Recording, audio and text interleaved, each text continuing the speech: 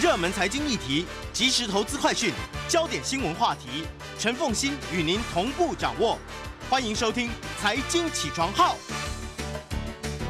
Hello，各位听众，大家早，欢迎大家来到九八新闻台财经起床号节目现场，我是陈凤欣。民国一百一十一年十一月十六号，星期四。哎，星期三，对不起，星期三，你看日子过得多快啊！现在已经早上七点十三分三十三秒。我们现在关心一下今天的天气状况啊。今天呢，哎，东北风所带的水汽又增加，实际上是从昨天晚上开始，昨天晚上就已经提醒大家了。傍晚过后呢，水汽会增加，偶尔。会飘以北部地区来讲呢，会转为偶尔飘雨的天气状况。那东部地区呢，降雨的情况呢更是明显。这样子的一个天气形态一直持续到今天早上。那么各地呢，北部地区以及东部地区呢，是明显的有雨，就或者是多云的天气状况。尤其是在东部地区，包括了像宜兰的苏澳啦、南澳这一带啦，那么累积的雨量已经超过一百毫米了。所以，包括了北部地区以及东部地区的朋友，出门的时候要小心注意哦。中央气象局呢，也针对了宜兰地区发布了大雨特报，因为对流云系发展旺盛，所以可能会有局部性的大雨，所以北部地区跟东部地区的朋友要注意。不过，所幸啊，就是白天呢，这个水汽呢会慢慢的减少，东北季风呢也会减弱，那这样子温度呢会逐步的回升，然后同时呢，降雨的幅度也会逐步的减少。好，那我们来看一下中央气象局的预测，北部地区以及东部地区，我们刚刚特别提到到了是多云时阴短暂雨，降雨几率有百分之五十，所以出门应该是要带雨具的。这几这地区的朋友，那么中部地区、南部地区就完全不受影响哈，多云到晴，降雨几率只有百分之十。那么在至于在澎湖地区也是多云到晴，降雨几率也是百分之十。那温度的部分，北部地区呢白天的温度是二十一到二十四度。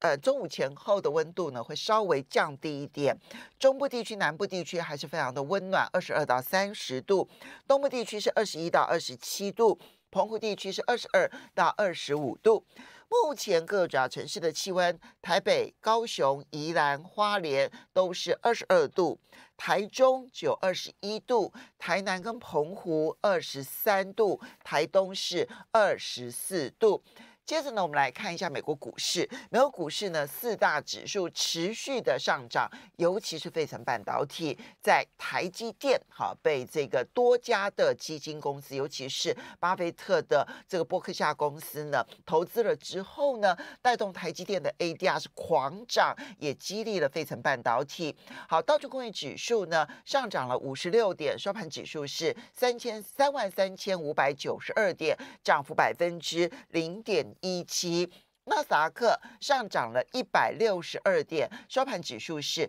一万一千三百五十八点，涨幅百分之一点四五。标普百指数上涨了三四点六六点，收盘指数是三九九一点九一点，涨幅百分之零点八八。费城半导体则是大涨了八十二点五六点，收盘指数是二八一零点六一点，涨幅高达百分之三点零四。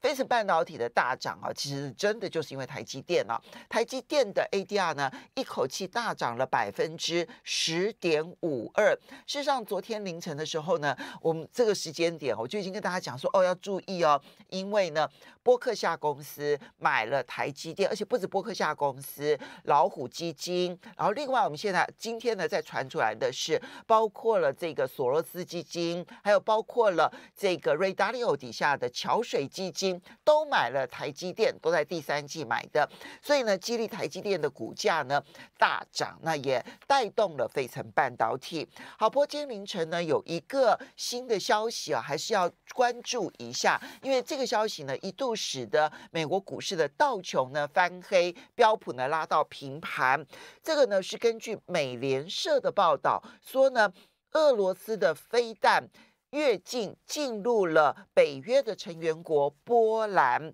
造成了爆炸，然后也造成了两个人的丧生。好，那波兰呢已经证实，那么在这一个波兰的境内呢发生了爆炸的事件。但是对于这个爆炸案呢，它所这个是不是由俄罗斯的飞弹越境而攻击到了波兰的境内呢？所造成的波兰呢没有表示更进一步的讯息。那这个讯息如果说是俄罗斯对于波兰的攻击的话，那影响会非常的大，因为它是北约成员国，北约可能就要启动了哦。所以呢，这个讯号呢，对于后续的影响其实很大的。那我必须说到目前为止，波兰并没有证实美联社所说的说这个爆这个这个轰炸呢是由俄罗斯所造成的。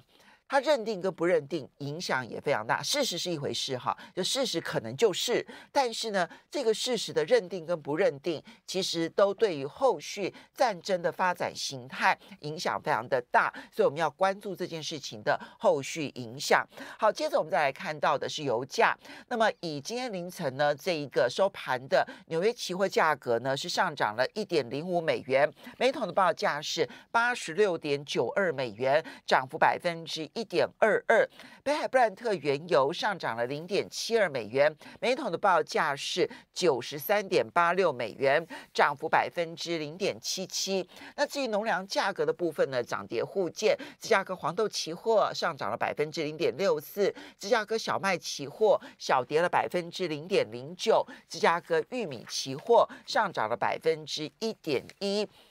在贵金属的部分呢，则是呃跌多涨少。纽约黄金期货价格小跌了零点一美元，每盎司的报价是一七七六点八零美元。跌幅百分之零点零一，那么白银的期货呢，大跌了百分之二点六九，铜的期货跌了百分之零点三五，钯金的期货则是上涨了百分之一点九。好，接着我们再来看到的是美元指数，因为昨天呢，美国所公布的 PPI 生产者物价指数要比预期来的低，甚至于要比前一个月来的低，这个呢都带动了市场上面呢。呃，这个认为，那现在通膨见顶的迹象似乎更加明确，所以呢，美元指数呢继续下跌了零点一五个百分点，来到一零六点五一。几个主要货币啊，就包括了欧元、英镑，还有日元呢，对美元都是升值的。好，另外我们再来看到的是欧洲三大主要股市呢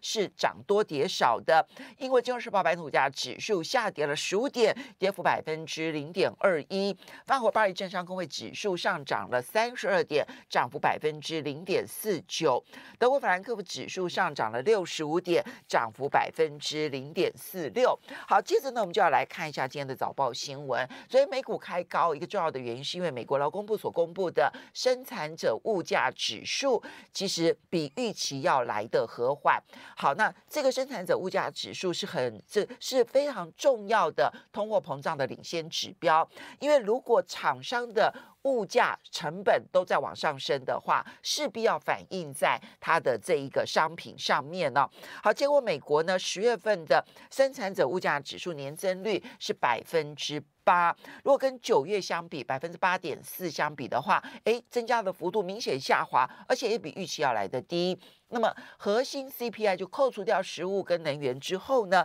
那么年增率呢是百分之六点七，那么也比九月份要来的低，也比预期要来的低。如果就一个月一个月来比的话呢，生产者物价指数月增百分之零点二，核心 PPI 它的这个年增率是零，就是呃月增率是零，就跟前一个月完全相同，这些都比预期要来的低，所以呢更加的证实了美国联准会。恐怕在这个呃十二月的时候呢，会降低它的升息的幅度。目前呢，按照芝加哥商品交易所的 Fed Watch 的这一个利率期货来看的话呢，认为十二月升息两码的几率呢，已经拉高到百分之八十五点四啊。那么认为是三三码的呢，只剩下百分之十五不到。好，接着再我们再来看到的是这个英国的房地产呢，现在会不会面临狂跌的一个局面？这是根据呢英国最新的房市的调查显示，如果排除掉英国疫情二零二零春这个这个 COVID nineteen 呢爆发之后呢，它所第一波的这个封锁期对于房地产市场所产生的影响啊之外，扣除掉这个极端的时间之外呢。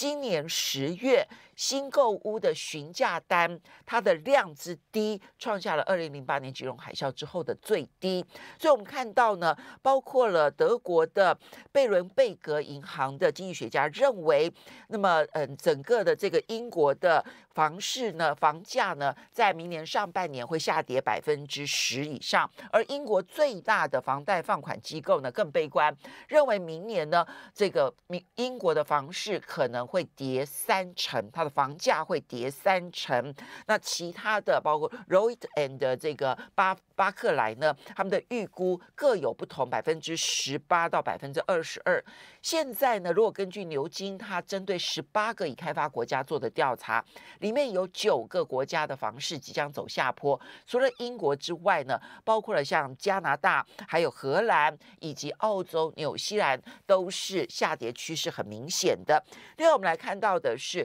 日本，日本昨天公布第三季的经济成长率。意外的季增年率呢是负的百分之一点二，显现呢就是一方面日元重贬，它进口物价越来越高；二方面呢，它的出口似乎成长的幅度是有限。那这个呢就痛痛的影响了它的内部的内消费。好，所以在消费不振的情况之下呢，第三季意外的经济呢是萎缩的。好，另外我们来看到，不过德国的。经济景气呢出现了指数上面的这个上扬，那么十一月的经济景气指数呢，比十月份整个大幅度的上扬，从负的百分负的三十六点七上升到。负的这个七呃负的七十二点二上升到负的三十六点七，要比预期来的好一点，不过都还在零之下哦。另外呢，澳洲因为升息放缓的这个迹象越来越明显，所以澳洲的经济信心指数呢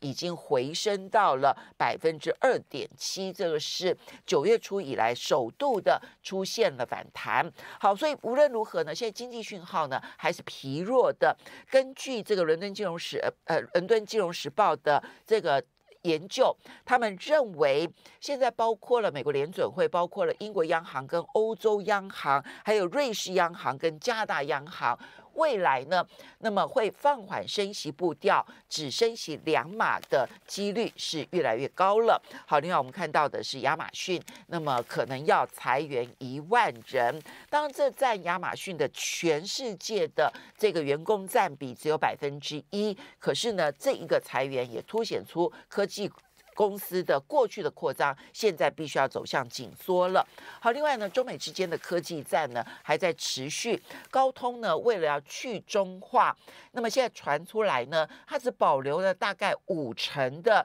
这一个投片呢，是由这个。大陆的晶圆代工公司中芯来这个这个代工，然后其他的要寻求非中国大陆的晶圆代工厂。那当然，这里面台湾的这一些成熟制成的代工厂就可能有机会有转单的效应。那它保留的五成主要是呢，本来这一些手机晶片就是要供应给大陆的客户，所以它保留在，所以只有在给大陆的这个客户的晶圆的这个单子呢，是要给中芯的，其他的。可能都必须要移出。另外也传出来说，长江存储这个事呢，那么中国大陆现在发展速度非常快的封测业啊，呃。可能在十二月初就会被列为美国的贸易黑名单。好，另外昨天的中国大陆所公布的十月份的经济数据全数下滑，不管是工业增加值，或者是投资，或者是消费，尤其是消费，十月份的消费呢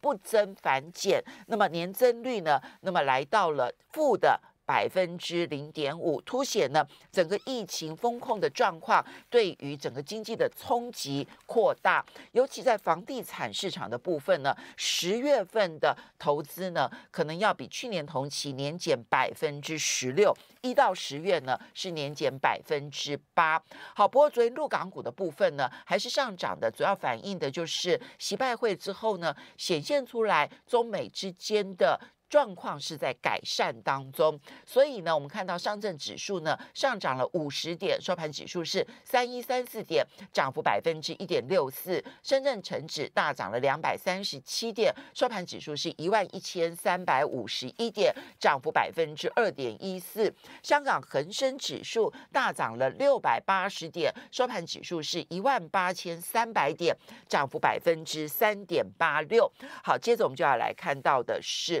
昨。昨天呢，当然最震撼的消息就是波克夏，而且不止波克夏，包括了老虎全球管理公司，还有桥水以及索罗斯资本管理公司呢，都在今年的第三季，那么买进了台积电。这是根据美国呢证券交易委员会呢他们所拿到的。十三 F 的这一个申报资料呢，所显现出来的，这里面呢，伯克夏呢买了这个台积电呢，一口气就买了六千零一十万张，呃，一六六千零一十万股。这个是 ADR 哈，那换算成为这个我们现在台北股市的一张一张来看的话呢，那是买进了二十八万张的普通股。现在一要呢，这个波克夏呢就成为了台积电可能第五大、第六大的股东哦。那么这一点呢，就使得我们昨天看到外资呢继续的狂回补台积电，也狂回补台股，连续第三个交易日呢买超台股的金额超过三百。百亿来到三百四十七点九五亿元，主要买进的对象。其实就是台积电，那么连续三个交易日呢，就已经买超了台积电四百零二亿，哈，就三分之一都是买台积电，这也激励台北股市呢，昨天呢一口气大涨了三百七十一点，来到一万四千五百六十八点。好，所以呢，这个呢是昨天很重要的一个呃市场上的一个讯息。另外呢，新台币的部分，昨天也小小小幅升值了一点。一分来到三十一点零